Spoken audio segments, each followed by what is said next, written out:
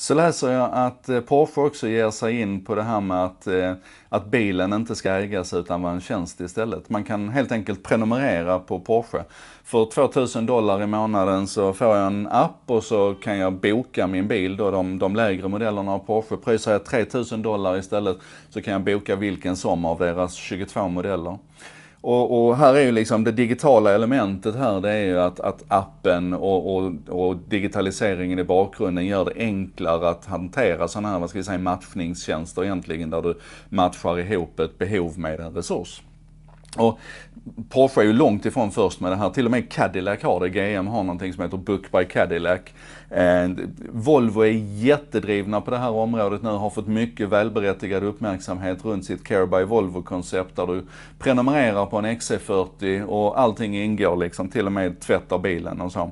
Eh, min enda invändning där är att man fortfarande är lite fega. Det är 24 månaders bindningstid. Hade det inte varit det så tror jag att väldigt många fler hade tryckt på knappen och signat upp för den där XC40 för 7000 spänn i månaden inklusive allt.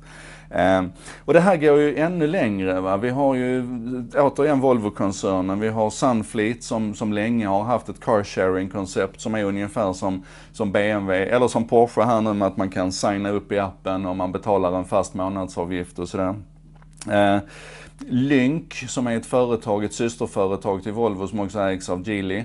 Eh, hela deras nya koncept här som, som lanseras nästa år bygger på konnektivitet från början. Alltså i bilen så ingår det en, en applikation och en tjänst som gör att du kan dela med dig av din bil. Du köper bilen men hela familjen kan använda den, hela huset du bor i kan använda den, bostadsrättsföreningen kan använda den och människor du inte känner kan använda den. Så att det, det ingår liksom i konceptet från början.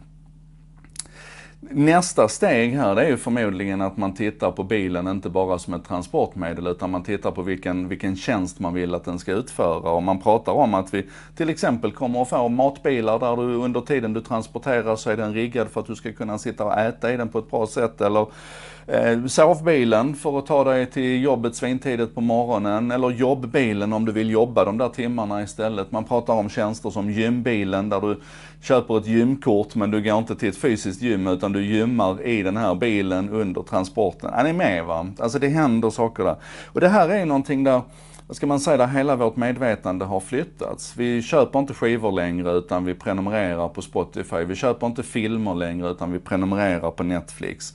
Det är till och med så att hårdvaran här, mobiltelefonen, utan att vara kopplad till en operatör så kan jag idag liksom prenumerera på den senaste iPhonen. Så betalar jag en fast månadskostnad för min hårdvara och så får jag bara en ny telefon när det kommer. Matlådor som prenumeration känner vi säkert till.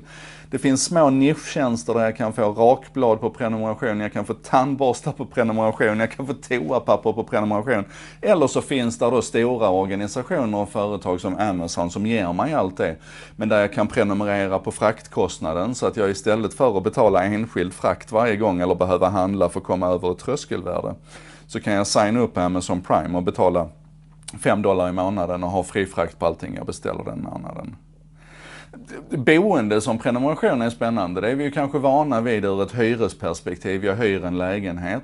Men det dyker upp företag här nu som låter dig betala samma månadskostnad till samma företag men du kan bo i vilken som av de sju världsstäder där de har hus. Så du kan bo en månad i Singapore, en månad i New York och en månad i Köpenhamn och betala samma månadsavgift till samma ställe. Och ibland blir det inte bra. Det fanns ett företag som hette Flexpets. Ja, de finns fortfarande men de gör inte samma sak längre. Det de gjorde var att man kunde hyra en hund. Så att du prenumererade på tjänsten att ha hund men du behövde inte ha den varje dag utan du kunde bara ha den på lördag eftermiddagar till exempel. Och här fick ju lagstiftarna fullständig panik runt det här så att där gick liksom reglering in och, och slog sönder den marknaden och det är lite synd. För jag skulle vilja se var det här kan ta oss och jag skulle vilja att vi kanske utifrån de exemplen som jag har gett nu, men ännu mer utifrån det du har runt omkring dig idag, funderar ett varv till på vad skulle kunna bli en prenumeration? Vad skulle kunna bli en tjänst där det idag är en vara? Um, ja, men vi kan väl bara klura på det.